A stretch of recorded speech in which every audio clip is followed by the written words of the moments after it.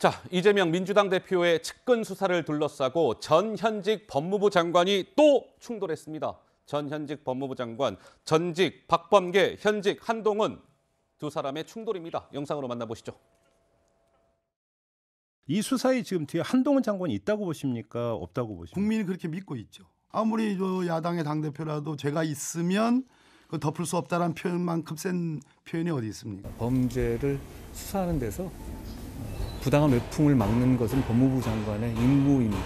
저는 지금 그 임무를 다하려고 하는 것이고요. 어, 전임 장관은 그 임무를 다하지 않은 것뿐입니다.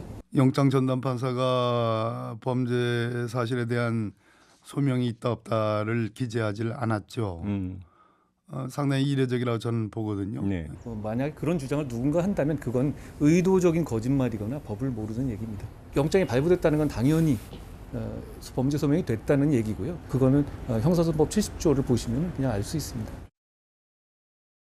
네, 아이고 영상으로 봐도 뭔가 이렇게 신경전이 느껴지시지 않습니까? 박범계 장관이 한 얘기를 한동훈 장관이 장혜찬 이사장님 조목조목 또 반박을 했어요.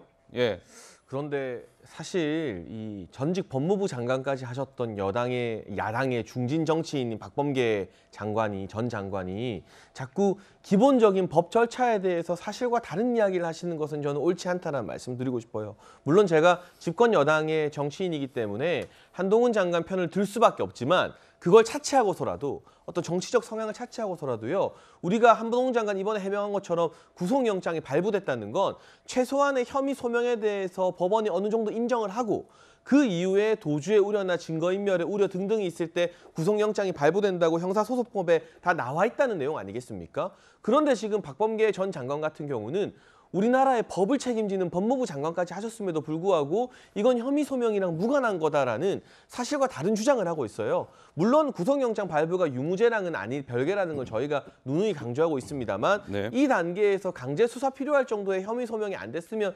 구속영장은 안 나오는 겁니다. 그 기본적인 사실관계조차도 다르게 말씀하시는 것은 네. 정치적 입장 차이나 진영을 떠나서 법무부 장관을 역임하신 분으로서는 적절치 못하다. 그리고 한동훈 장관이 민주당 정치인들과의 설전에서 왜 계속 관심을 받고 국민들의 지지를 받느냐? 적어도 팩트와 관련된 부분에서는 틀리지 않기 때문이거든요. 예. 정치적 주장은 다양하게 할 수 있지만 음. 사실관계나 형법 같은 팩트에 대해서는 민주당 정치인들도 좀 제대로 조사를 하시고 꼼꼼하게 한동훈 장관에게 이 반격 안 당할 만한 준비 정도는 하셔야만 이걸 지켜보는 국민들이 그래도 고개를 끄덕이면서 좀 더 흥미진진하게 바라볼 것 같습니다.